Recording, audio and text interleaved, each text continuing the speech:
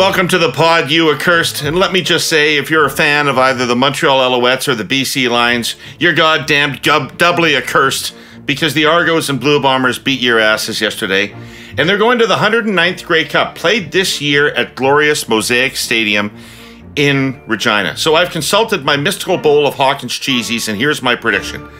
I am cheering for the uh, for Argonauts because I live in Toronto. But it's hard not to pick the Winnipeg Blue Bombers to win this. Mark it, book it, blame me or credit me in seven days. Winnipeg Blue Bombers three-peat for the Grey Cup. Scott and Jordan are here, and we've got the wonderful Lisa Raitt sitting in for Corey for one more week. I would ask you who you like in the game, but I'm not sure that you have a call. Argos. Uh, what? Argos. Argos? You're calling for the Argos? I have to. Scott, Toronto. you got a prediction? It's going to be Winnipeg. They're going to crush. Going to be crushed. But listen, there, I'm I'm wearing. I don't know if you noticed. I'm wearing a Buffalo Bills hat, and and I'll tell you why. My my business partner, an extraordinarily close uh, friend. Um, some speculate that the relationship is far more complex and deeply rooted than that. Even uh, Nice Scott you, last Feschuk. names. Scott Feschuk, his he comes from St. Catharines. His entire family, and there's a group of friends of his dad. They're all Buffalo Bills seasons ticket holders, and this was going to be their season. And yesterday, after that mammoth collapse to the Vikings, I sent a text to Scott, one word. I wrote to him, Christ, and he replied, why are you sending me this? There is no God. So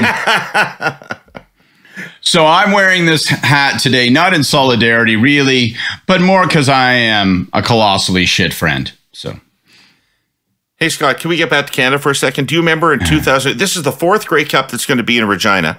And the Yep. first one I won't have been at. 1995 was the first one I was there. I sat behind Preston Manning at the game. oh jeez, 2003, we were both at in a warm Yep. little tent.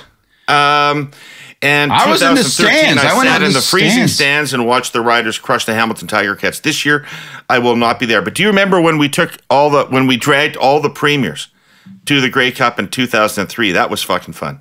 So Lisa and Jordan, uh, Paul becomes uh, he becomes leader of the Liberal Party on the Saturday evening. Uh, officially becomes the leader in Toronto. Then we fly uh, that night, late that night. We go to the Grey Cup on the Sunday, and we uh, we ask all the premiers to meet us in an informal FedProv. Uh, first ministers meeting in, uh, at the on the outskirts of the Grey Cup. They give us all big parkas. I still have my uh, I still have my uh, Taylor Field parka, and um, and then and so we had, and then it was like 38 below in the freaking stadium. It was so cold. I had a snowmobile suit on, and was still and like packed with cherry whiskey, uh, Mickey's the cherry whiskey down both legs, and it still was too goddamn cold. But that was a great Canadian moment. That was a Really blast. nothing like group travel for bonding, right? I took everybody to Mark's Work Wearhouse in Regina to get outfitted for the game. Can I tell you my Um, story on the other perspective of that game and what it meant to me? So you described the situation. I was the CEO of the Toronto Port Authority at the time. We were trying to build this little link between downtown Toronto and the island airport. At that game, where Paul Martin was, David Miller was the newly elected uh, mayor of the city of Toronto, and one promised the other to stop the bridge to the island airport. And eight years later, I became Minister of Transport. So thanks, guys. dot dot dot. I mean, for sports fans, they also played a game that day. Yeah, that was Ricky Ray Day. All right, let's get on with it. Let's get on with it. The hospitals are in terrible shape, especially the pediatric ones. A variety of ves- respiratory ailments has every hospital or clinic backed up. Many people are calling for a return to mask mandates. People have seemed awfully anxious to move past all the restrictions of the COVID era. Take up of flu and COVID vaccines is way down. So here's the question. If the advice a premier was getting was to reintroduce mandatory masking, Jordan, could you do it or would the public revolt on you? I think you could do it uh, in the right circumstances. And I think, especially, we're, I mean, we're obviously talking about Ford in Ontario here. And I think Ford could do it actually, potentially better than, than some other provinces could. And I think to explain my rationale here. So we know uh, things are very bad, right? And I think just to add a little bit to the context you provided, like, so pediatric ICUs are at like about 183% capacity right now. Like here in Ottawa, the Children's Hospital's opened a second ICU. At the height of the pandemic, it never actually got this bad in adult hospitals. So it's like a unique situation. And I think that at a certain point, um, there is quite likely that the government will be forced to take some action. And I think that that's the key word here. So I think for Ford, politically, if he needs to do this, he needs to appear to be pushed into it by the medical officer of health. Now, Dr. Kieran Moore is not pushy, as we know. Um, so I think that's going to take a fair bit. But if it, if there was a clear public health rationale, then I think he could do it. And and to be very frank, I think the public health ra- public health rationale that's going to come is is almost a complete collapse of our emergency healthcare system. And that's not just for kids, because the reality is that if pediatric hospitals are overwhelmed and children are ending up in other uh, in adult spaces guess who gets triaged out? It's not the kids. So this is going to begin to impact people who don't have children, although I think we can all perhaps hope that the fact that children are very sick is enough to get people to act. Um, and the other thing I'd say is that, you know, there has been some research around this. So Nanos did a poll uh, out last week about the reintroduction of mask mandates, looking at nationally would you support the reintroduction of a mask mandate if it was required, being the key word there? And across the country, they found about seven out of 10 Canadians, and it never dropped lower than 65% support for that. So I think with the right with the right push politically, you could do it if you appeared reluctant enough, as I'm sure that Ford will. Lisa, what's your take? Depends on the province. Um, I'm not sold people are going to obey it. I'm not sold that a mandate is going to work. I think you may end up just having a situation where people refuse to adhere to the mandate and maybe more people than you anticipate. I was at I was at North York General yesterday taking my husband for a CT scan and you know there were people in the hospital not masking and no one was approaching them to say you know you got to put your mask on and that is the sacred place where everybody puts their mask on so how that translates out into out into society and out into the business world, out into transportation again. I uh, I really don't know. But here's the issue for me is I think there's a bit of confusion out there amongst people as to whether or not masking is effective. I'm going to, you know, I think there is a confusion. Does it work? Does it not work? Should we do it? Should we not do it? I don't know if there's clarity. So a case has to be made that it is going to have a meaningful impact on what um, parents are experiencing. And, you know, to put the other side of it on too, and, and I know Jordan's well aware of this, it's the fundamental lack of over the counter medicine that's available to parents in order to control these fevers because there's no way to control the fever at home because people just can't seem to get uh, well they can't seem to get they can't get it. It's not available on the shelves or it's being rationed in terms of infant infant tylenol in order to reduce fevers which is the danger the fever and the breathing. Those are the two danger parts. But you know my kids are older. One last thing i would add if i could david I was talking to a doctor from Trillium last week, and he told me that um, it's this group of, of youngsters, young people, young babies, toddlers, who never experienced any other kind of of disease because they've been masked and they have been pretty much kept in a bubble, not experiencing what normally you would experience in terms of getting to immunity that we're experiencing right now. He said, you know, that when he hit 12, uh, that's a wall. Those adolescents have experience. They've had these kinds of diseases before they have some immunity. And he said, but it's very dangerous. And that's why we're seeing the bubble or we're seeing the amount of people who are in the hospitals right now. Scott, what would you think would be the preconditions to a mask mandate? Well, I think there's an inherent perversity to it uh, because I think Jordan's right. I think that um, even in Ontario, uh, you have to, as a political leader, you have to make the case that you're doing you if you were to proceed with a mask mandate you would have to make the case that you're doing so with great reluctance and that you're kind of doing it solely because you must not because that's your your discretionary option that's your impulse and the perversity is that what does that require? Well, I, I think the thing that would give you sufficient political cover is a complete breakdown in the hospital system, which, you know, arguably we're almost at, but it's not a breakdown that everybody is feeling. It's just a breakdown that people who are particularly working in the system or happen to have a child that's in the system are feeling. And and the perversity is that at that point, critics will say, "Well, Jesus Christ, uh, wearing a mask to you know to to Loblaw is hardly going to fucking fix the problem." So you're going to end up in this kind of weird world that by the time you think a mask mandate is politically acceptable, it will be arguably an inadequate response to the uh, to the crisis that you'll have uh, awaited. Um, so I'll just tell you from my perspective as a parent. Um, I'm now having the discussion about whether or not to make the kids wear a mask in school. That's a real hard step to make. I want the school system or the province to step in and say mask for everyone because then that removes me as a parent of having to place the burden, the peer pressure burden on my kids of saying, no, you're going to be the uh, you're, you're going to be the kid who steps into the hallway during the Lord's Prayer because you're the Jehovah's Wit, the one Jehovah's Witness kid in Massasauga Public School, you know, like Jack Moak was in my class in grade four in 1975, you know, kind of thing. So I, I, I, I want that to happen, but I don't think, I mean, Kieran Moore just spoke as we're taping this. He literally just spoke and said he's quote unquote strongly recommending. Mm. That means fuck nothing. It means fuck nothing. We use it all day, every day. We hear about it in the media, but we're really only conscious of it when it fails. The power grid is often called the world's most complex machine, a delicate and almost infinite choreography of inputs and outputs. It won't shock you to learn that modernizing the electricity grid for the constant flow of energy we demand means making it a smart grid. Herle Burlyites, the smart grid can't get as smart as it needs to be without digital solutions.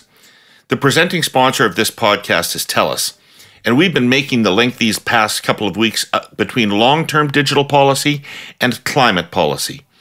How does our superpowered, sensitive flower of a grid fit into that? Think about all the stuff we increasingly plug in, where we used to throw carbon out into the atmosphere. The transition to EVs, more and more of us working, learning, meeting, watching, reading, getting medical treatment online. Formerly analog, heavy GHG emitting industries like farming going more and more digital. The point is this it's not just that we need the grid to be more and more stable, the climate needs it too. Good news on both parts. With the increasing use of smart grid digital technology and data, utilities are becoming far more efficient at supplying and storing electricity, managing costs and peak demand, integrating renewable and customer generated power back into the grid, and sharing information and best practices with other jurisdictions. TELUS wants this momentum to grow Reaching our climate targets, net zero by 2050, is the goal. What it all depends on is the flawless connectivity and innovation that world leading digital policy can bring. This is the foundational stuff we have to get right now the infrastructure so that digital tools can continue to help us meet our climate commitments. To learn more about it and to support this kind of thinking, go to telus.com slash digital policy for climate. But what is the so come back to you, Jordan. What is the if if the polls say that seven out of ten people would support a mask mandate? I was out in the world. I was out in the world last week, and if I saw one out of ten people masking, I would say that was a generous estimate.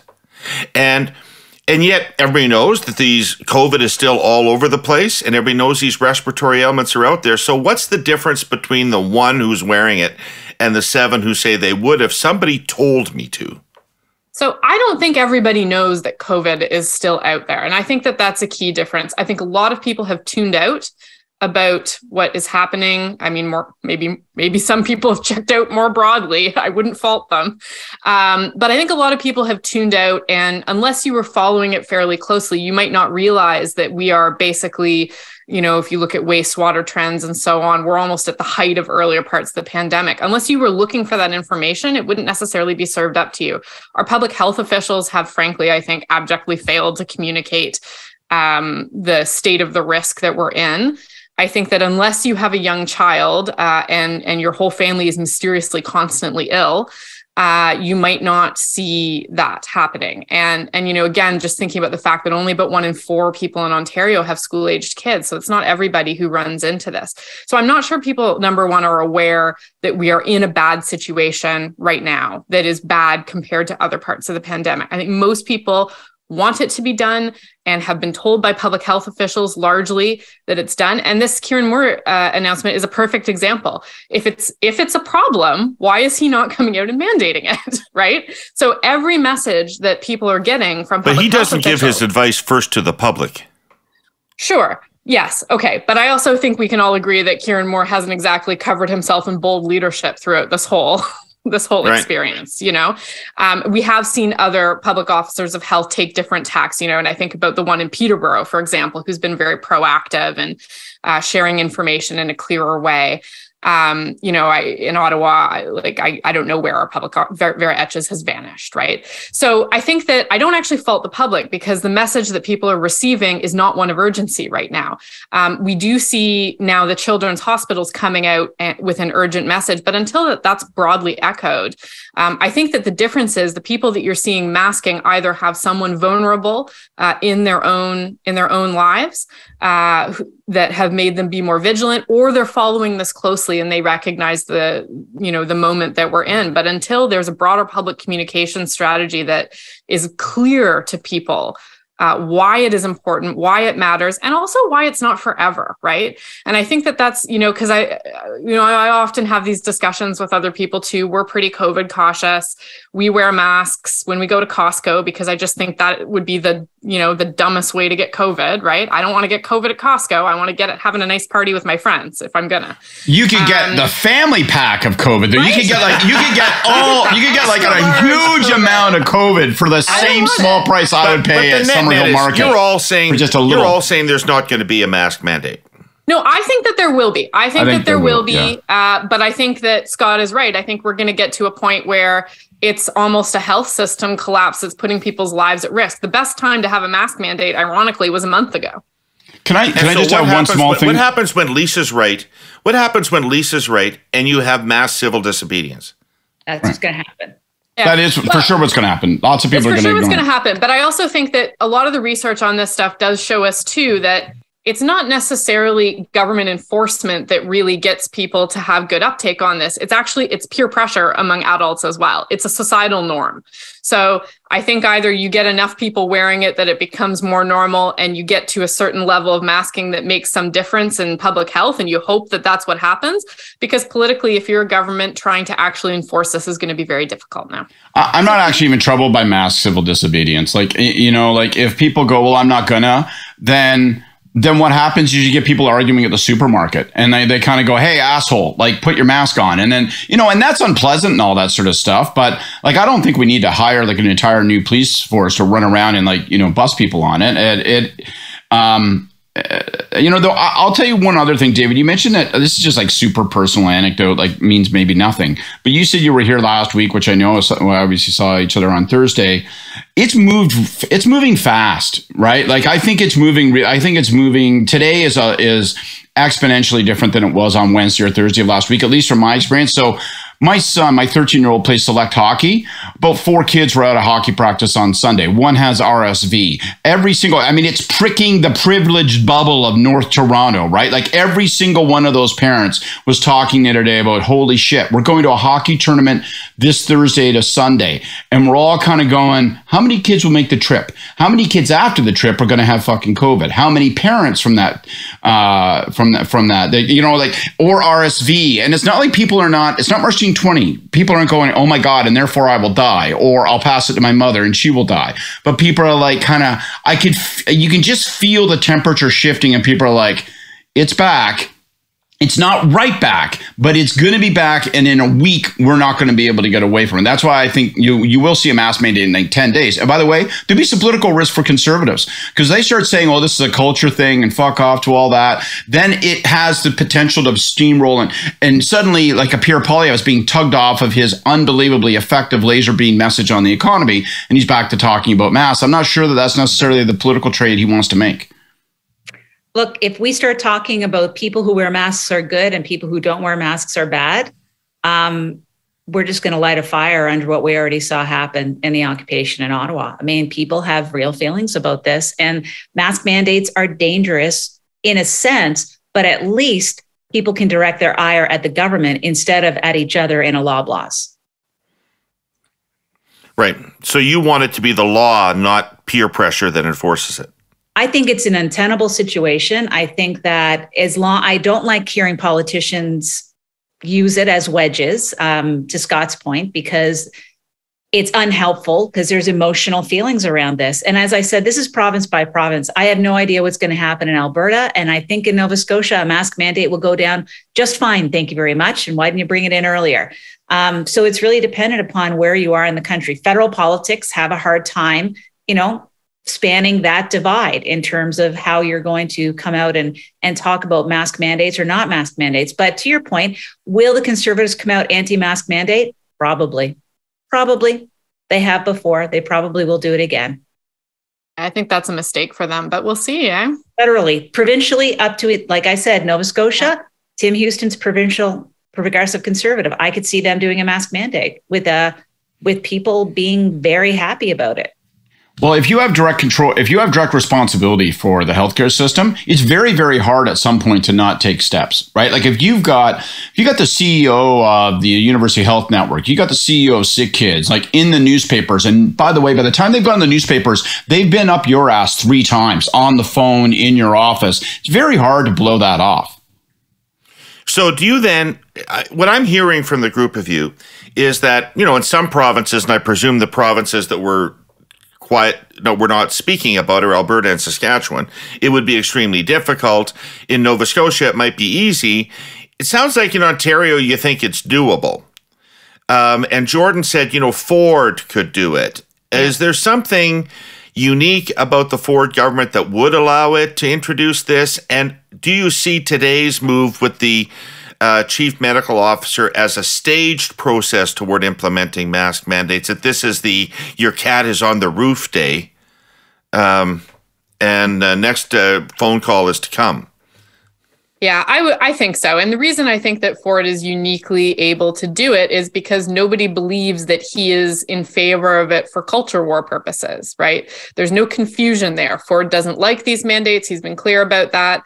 He's obviously reluctant to do it. So I think that there's a confidence that when he comes out and grudgingly says he has to, it's because there is a genuine public health reason for that.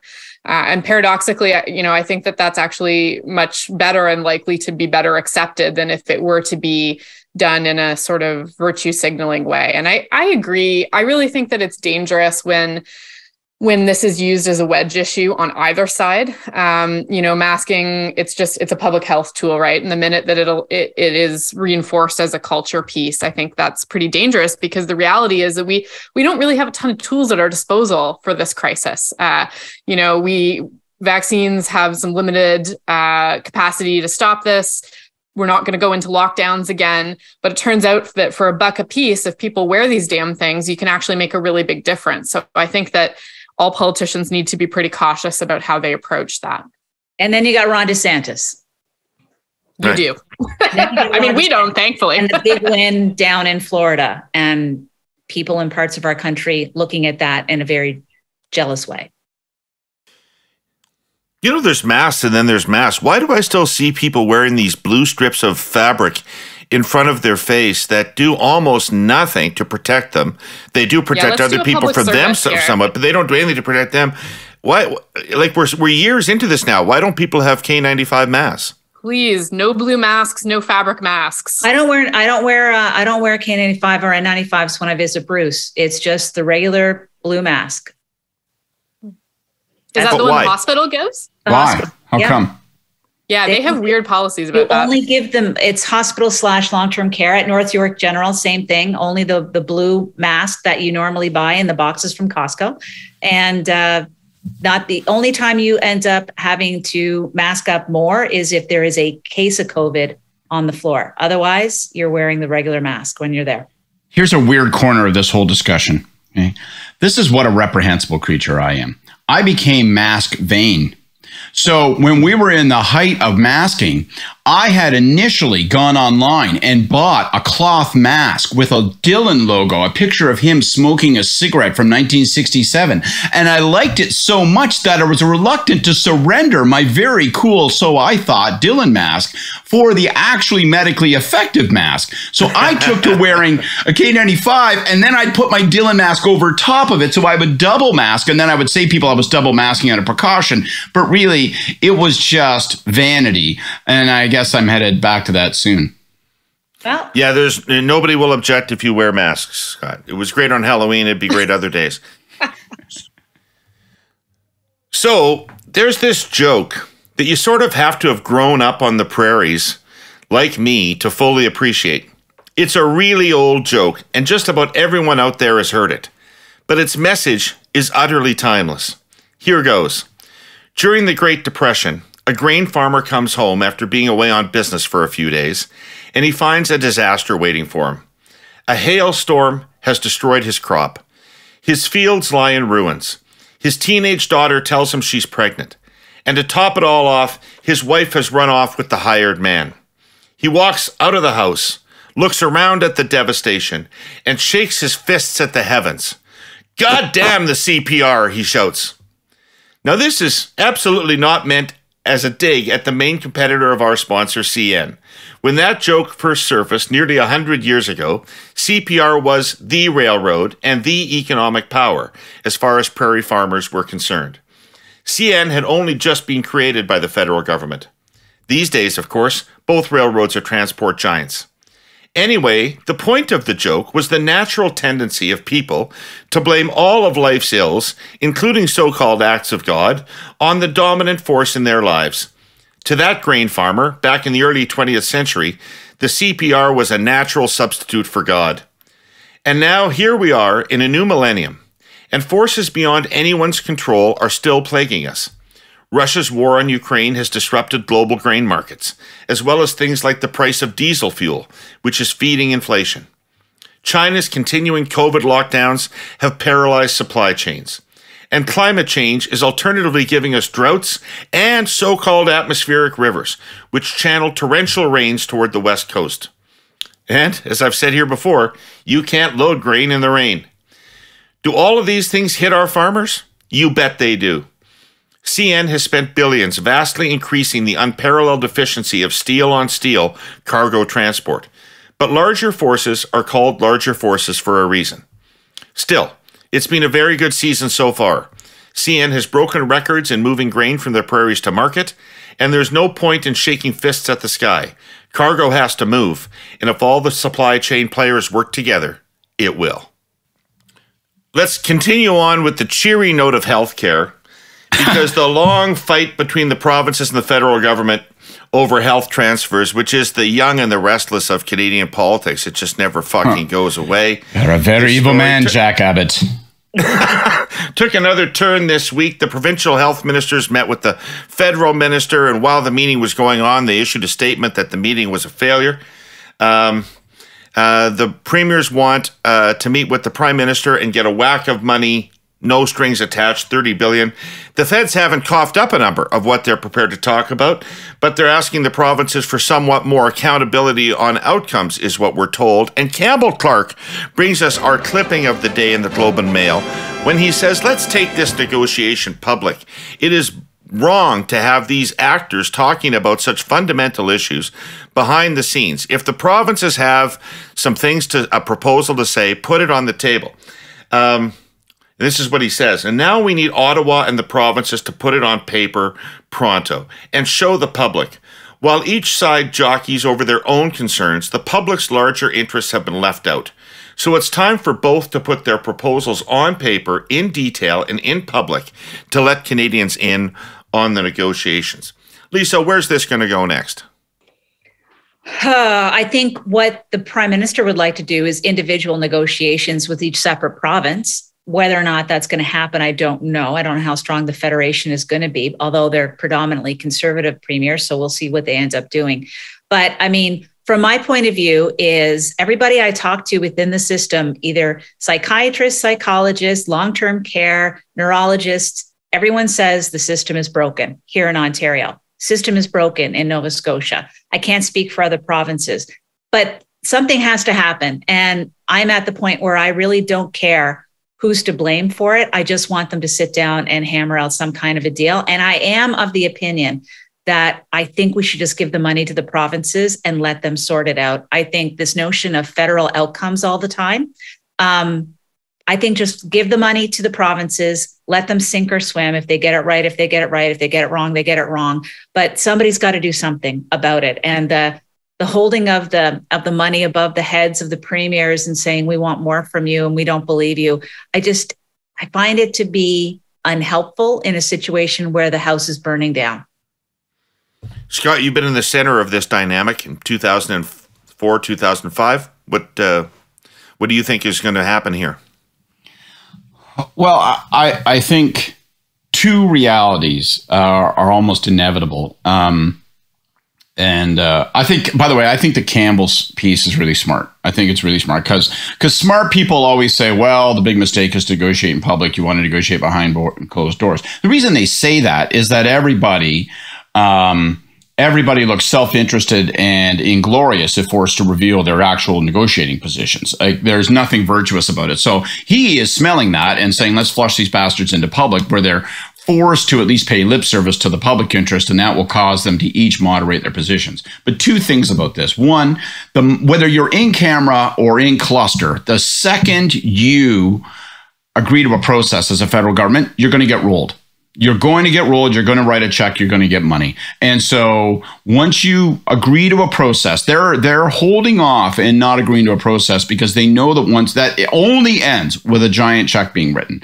And so then the question is the moment you agree to that, everybody knows that and therefore you've immediately begun to lose your leverage.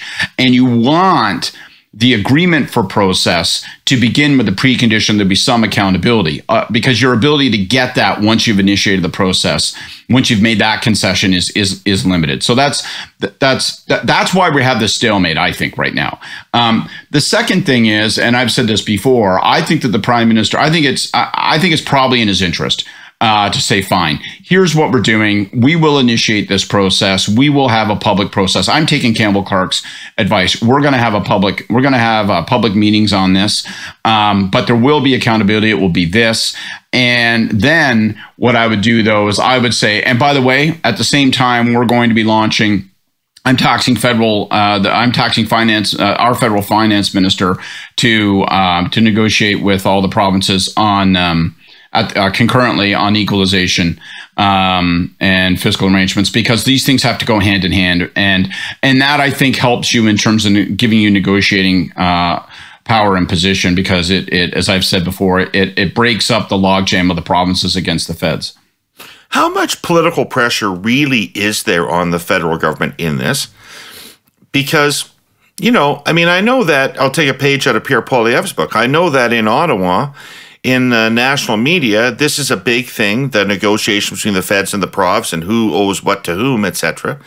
But on the ground, do people really blame the federal government for the problems in the healthcare system, or do they blame the provincial government for the problems in the healthcare system? Um, are the feds, do you think the feds are actually under a lot of political pressure to come to a deal? I don't think that they are right now. You know, I think that most people do associate the problems in the health system with the provincial government. So I think that the feds have maybe a little bit of margin to maneuver on this. But these chickens are going to come home to roost, you know, and they always do um, particularly as you know you're you're sort of staring down the potential of the next election, axing on some of this stuff. Like if you look at the confidence and supply agreement with the New Democrats, you got a couple big healthcare pieces that involve large national standards. You've got pharmacare, dental care, like these are really in that same ballpark. So, like this this fight, I think. Um, you know, frankly, the, they're tactics for normal times, and and and I, I'm not sure that they work for where we are right now. Canadians are living through what is effectively a healthcare collapse, you know, particularly speaking to what's happening in Ontario.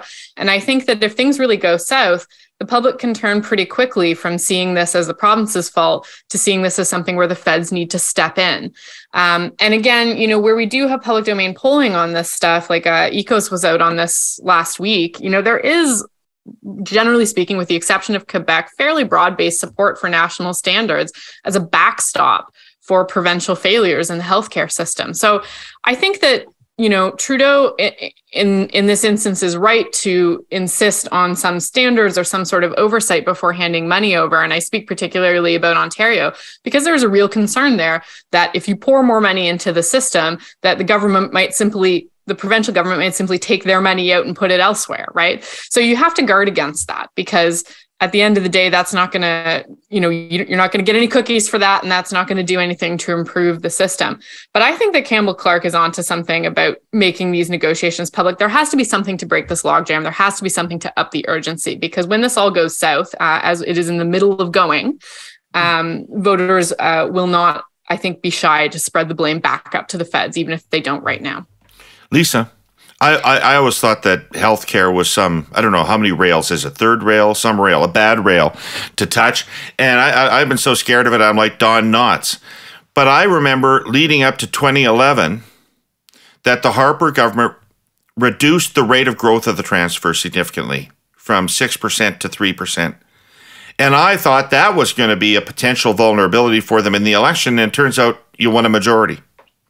Yeah, Tom Mulcair hammered us on that every single day in the House. You know, the even though you know the prime minister would say look we said that we were going to reduce it. That was a one time 6% that we were giving. It wasn't going to be forever. We're back to where the normal is. Um, and that you know ex- excuses are like assholes. Everybody has one kind of thing. But the reality see i said i said a bad word on this. There you go. thank you very much. Ah that's yeah. sweet. Welcome. Welcome to the tree politics. It took a while but i got there. Yeah. uh, i should have said arsehole though for the veracity. They gotta represent.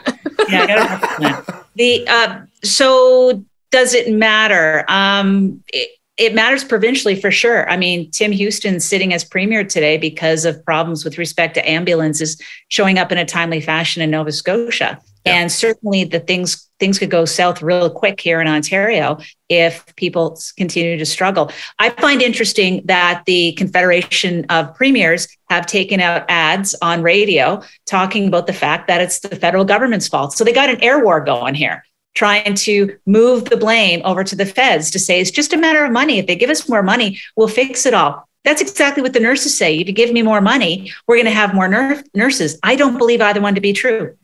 You know, I'd be really inclined if I were the feds to, and it's probably a mistake to to be too heavily influenced uh, by the 2004 experience, but I'm heavily influenced by the 2004 experience, and so I'd be heavily inclined if I were the feds to move right now.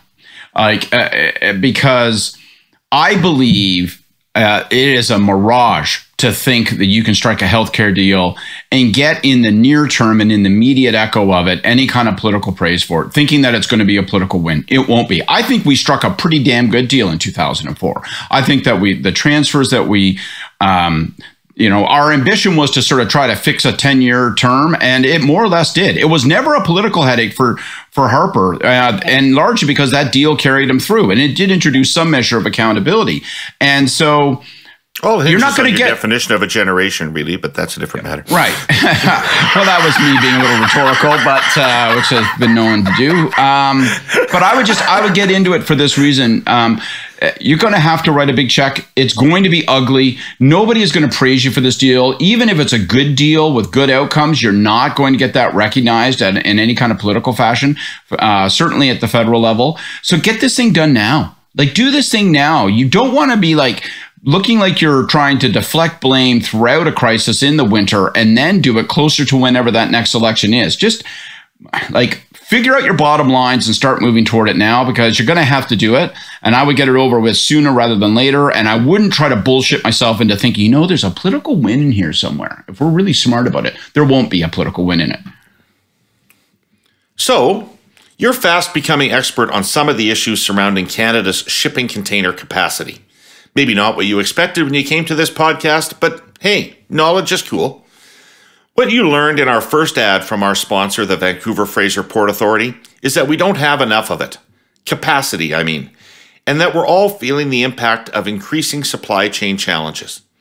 So, the Vancouver Fraser Port Authority is proposing to build a brand new marine terminal for shipping containers at the Port of Vancouver. Roberts Bank Terminal 2 is the official name for it. Because business and trade needs will continue to grow in Canada, And these marine container terminals link our businesses, large and small, to the global economy. Otherwise, as our ports continue to fill, and at the Port of Vancouver, that's where this is heading fast, Canadian businesses and our trade partners will look to U.S. ports to move their products, which means they might even have to truck them to and from Canada. One, that's a blow to our nation's trade sovereignty. And two, when lack of container capacity combines with that kind of inefficiency, costs go up. Either they're absorbed by our businesses, many of them small or mid sized, or passed on to the customer in the form of higher prices. Neither is a good option, especially in an inflationary environment like this. I mean, why make a bad thing worse when you don't have to? Building Roberts Bank Terminal 2 will bring another container terminal operator to the Port of Vancouver. That means more competition to help make the cost of goods more affordable for Canadians, a stronger supply chain, more of that critical capacity I talked about, and protecting trade sovereignty for Canada. And frankly, the Vancouver Fraser Port Authority is a trusted partner of government, business, Indigenous groups, and local communities to get it all done. So, everybody that any of us talk to about healthcare will say the following things The system needs more money more money won't solve the problems. Mm-hmm. You'll hear those two things from everybody. Yeah. Right? That there is substantial structural change that is required in the healthcare system, uh, in addition to more money. Mm-hmm. Now, there isn't a ton of agreement on what that structural change is. Let's just take Campbell Clark at his idea for a second. In 1980 or 81, I cannot no longer remember the exact year. Trudeau held open, televised FedProv meetings about the Constitution. Yeah. Okay. And there was day after day of these people, men, sitting around a table, arguing about their vision of Canada. Now, that did not, that process did not result in an agreement. But it was a hell of a public education about where people stood and what their different conceptions of the country were, and started the formation of national consciousness about some of these ideas. It really did lead a debate in the country about something important. Why wouldn't we do the same thing here? We need to talk about healthcare. Why wouldn't we have an open discussion about healthcare in front of everybody? I think voters just want it to work. Like, I think people are just at the end of their ropes, at the end of their bandwidth for this type of thing. I don't think that people have the capacity to engage with it as a big overarching issue. They just want the services. They just want to not wait 30 hours in the ER. And I think that the challenge is for the but federal do government. Do they? Do they? Do they not care about private delivery versus public delivery? Honestly, I wish they did. Uh, I think that you know we know uh, from research. There's a lot of research on this that people value public Medicare as a as an essential component of being Canadian. That's a big part of Canadian identity. But I think that the reality is that, you know, you can you can kill a system through privatization. You can also kill it and and pave a path for privatization through neglect. And I think that that's where we're at. And and if that's the setup, if assist, if the system is allowed to come to a point of collapse where people aren't getting the services, and the way out is pointed through privatization. I think that there's a real risk that people are just going to shrug and say, well, you know, we we need it fixed, right? And and frankly, I think that that's an intentional strategy on the part of some premiers who have an ideological support for privatization. So, I mean, I'm not sure that the the solution here is is a big overarching public debate about what is the path forward for healthcare. I think that the federal government needs to be seen to take some leadership. They've been fairly invisible. And there are pieces that they could like break off and work on even if you want don't want to do the big money question initially. Like health human resources is a really great example. We have a personnel crisis right? Um, there are detailed discussions that have that have begun about what that could look like about getting more nurses in the right places and fixing the shortage of doctors in certain uh, specialties. So like like let's start there. Let's do that part publicly you know? But i think that really what people are going to be looking looking for is frankly a fix for the services that they're encountering. And whichever government can make a clear connect that what they are asking for is going to deliver that fix is going to come out the winner. Boy, Lisa, I don't know if you're going to agree with me or not, but it sure feels like there's a fundamental divide. I'm going to disagree with Jordan. I feel like there's a fundamental divide in the country about how we should approach our healthcare system going forward. And we need to have some conversations about it to come to some national consensus about what is, I, where I wholly agree with Jordan, is that this is a symbol of Canada to Canadians. Um, and so what does that look like going forward? I think there's lots of different ideas about that. And I don't know that those decisions should be made by stealth. I'd like to have a debate about them. Well, as people get older, there are two major things that are going to happen. Your knees and your hips are going to give out, and you've got a good chance of getting dementia. And both are things that are expensive on the system, and you need to have dealt with in a in a fast manner, which just can't be dealt with right now. Um, the way here's where I'm settling on it now. And I, I read the Campbell Clark piece and I've been thinking about it. Of course, no prime minister, no government likes those kinds of general public meetings because it's all the provinces and territories and indigenous leaders beating up on the federal government all the time. So nobody wants to put themselves in it. But I've come to the position where I would much rather have a public meeting on how to save something now than a royal inquiry commission into why we've had a systemic failure.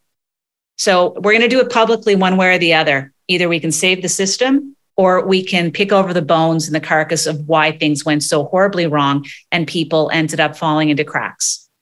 David, if if you want to, I already said from my perspective, I would do it public to break the logjam and get moving.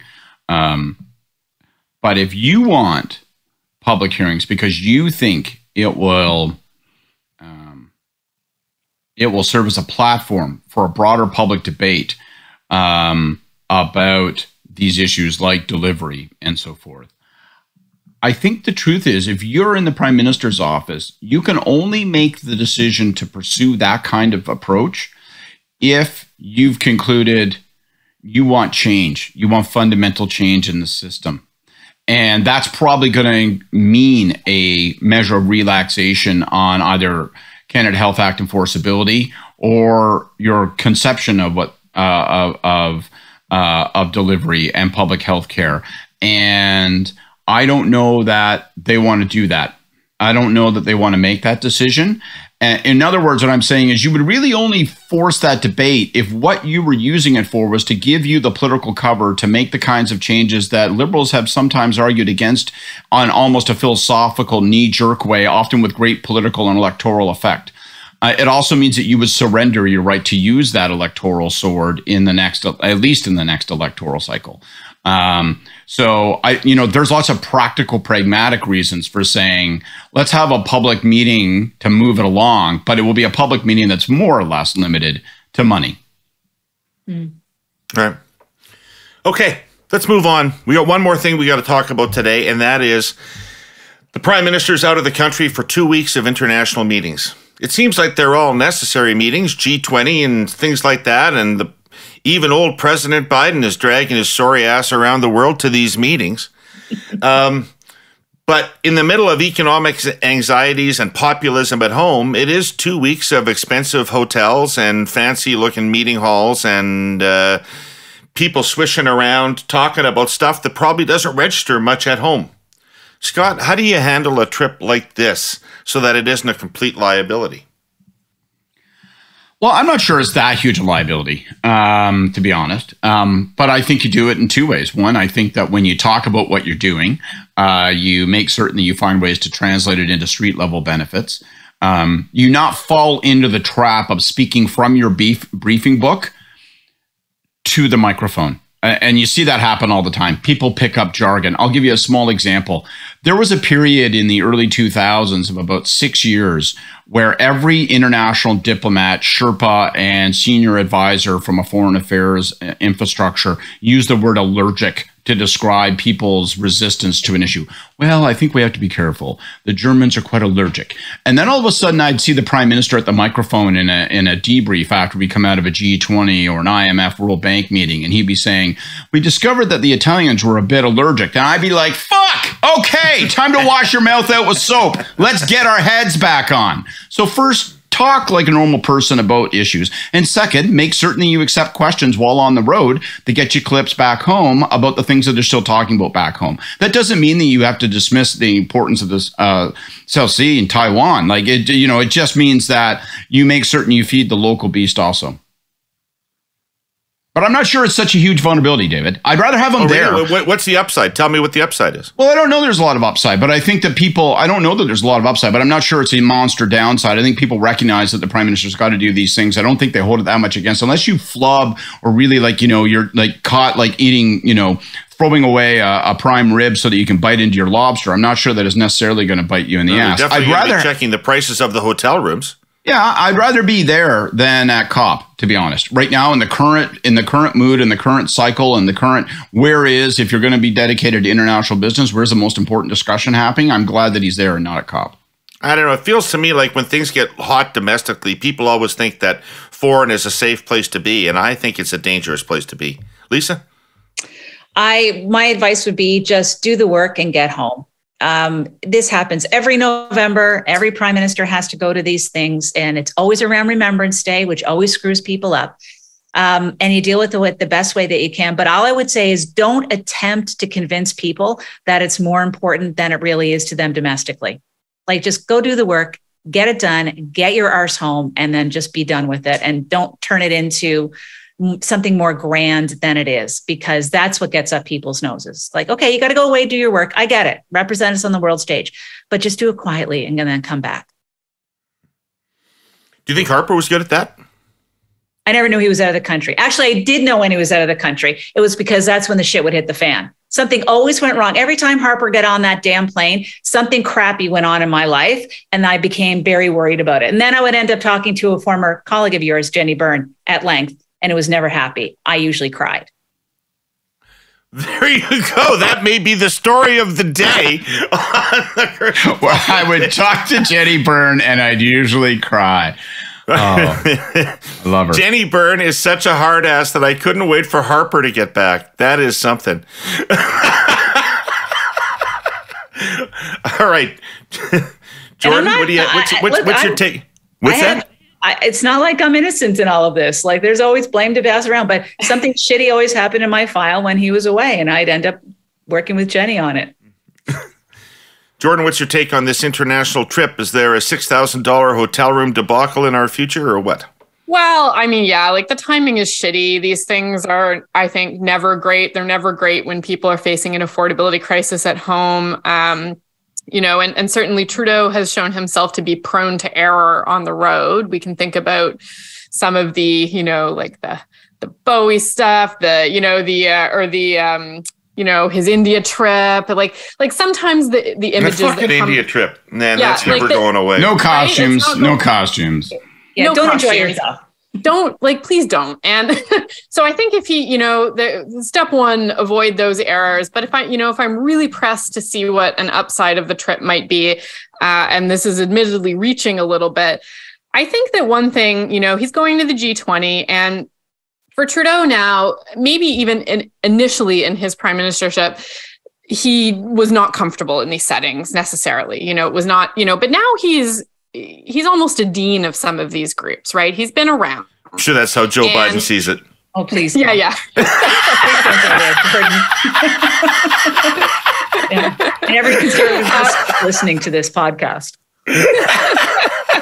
but you know, I think that it's hard to imagine Pierre Poilievre standing next to Biden, Macron, Scholz, you know, doing some of these things. So potentially there's a little bit of an upside for him and in that, but you know, I don't want to overstate that because that's I think that that doesn't necessarily resonate with people home. I do think it'll be interesting when he's going to the G20 coming hot off the heels of this really quite incredible story about election interference from China like there will be a moment there where I think uh, rightly there will be some pressure for him to do something or have some sort of message on that. So there will be an opportunity perhaps to have something stronger than has happened to date. So we'll see if they if they uh, take. Is that he going to get grief if he doesn't bring up electoral interference with Xi? Yeah, and I think he should get grief because it's it, that's a that's a shocking story. That's a Yeah. really egregious, and for him to attend the G20 and pretend like it didn't happen, uh, like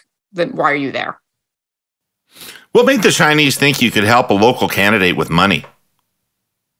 Well, I think because probably the last been thing doing, that's- they've that's the probably last been doing issue. it for a long time and they haven't gotten caught. So Mm. Yeah. Well,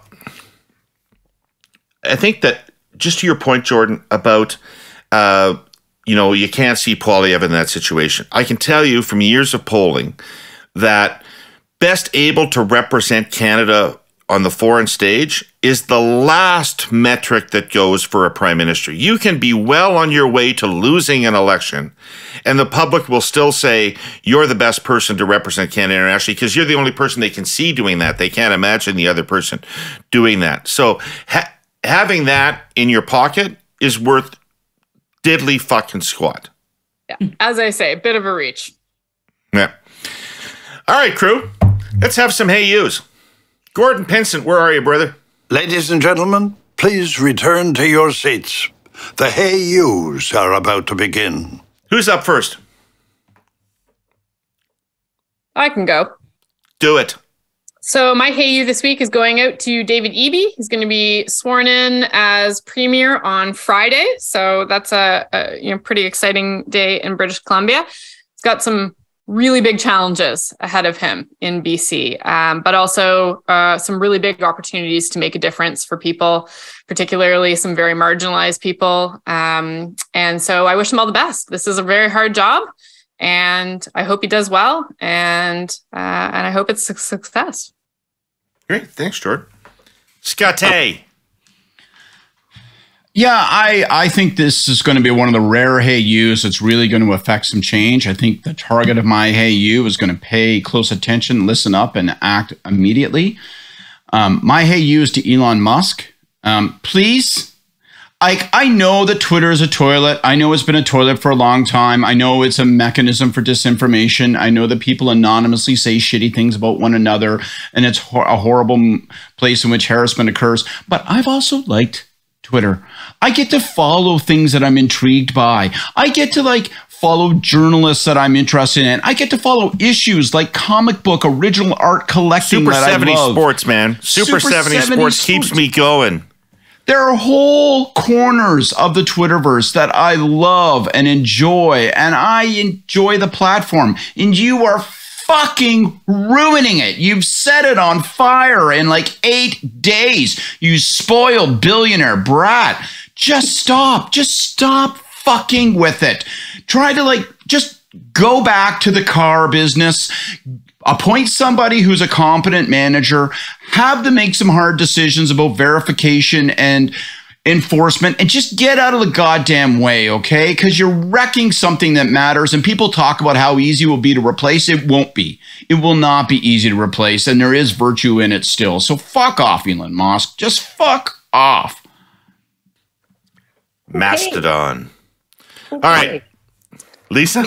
Okay. Well, I have. Um, I could go serious and say a hey you to Francois Philippe Champagne for bringing in a critical mineral strategy on foreign investment that's confused everybody in the country. Maybe you should try to help us figure out what the hell you actually meant by it. And is everybody divesting or only a few chosen? And which minerals are they? Because no one can figure this out and people are going a little bit batshit crazy over it. So that's one. However, I'm going to go with the softer one. My hey you is to Hallmark Channel. Hey, you. Once again, we have all these beautiful Hallmark movies that are filling all of our stations all the time on loop on the women's channel. And advertisers know that women are turning that on in the afternoon, maybe some men too, uh, are turning that on just to get the hell away from all the shit that's going on on the news channels. So, hey, you, thanks for bringing back the warm and fuzzies and making me feel eternally behind in my Christmas decorating. But nonetheless, um, it was a good diversion on a Sunday morning with a cup of coffee when I didn't want to watch the political shows.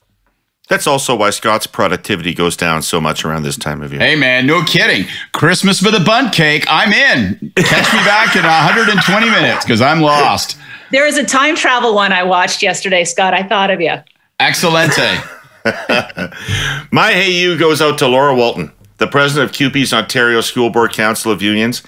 From the courage shown to standing up to the government, the rhetoric and public argumentation that she employed, and the backroom organizing to pull together the Labour coalition was as impressive a political display as I've seen recently. So, hey, you, that worked well. Sweet. Um, thank you to everybody. Thank you, Jordan. Thank you, Scott. Thank you, Lisa, for being here today. So much fun to talk to you all. I'd like to thank our presenting sponsor, TELUS, and our sponsors, CN Rail and the Vancouver Fraser Port Authority, and everybody out there who listened or watched. Thanks a lot. We'll be back next week with more Curse of Politics and maybe Corey tonight.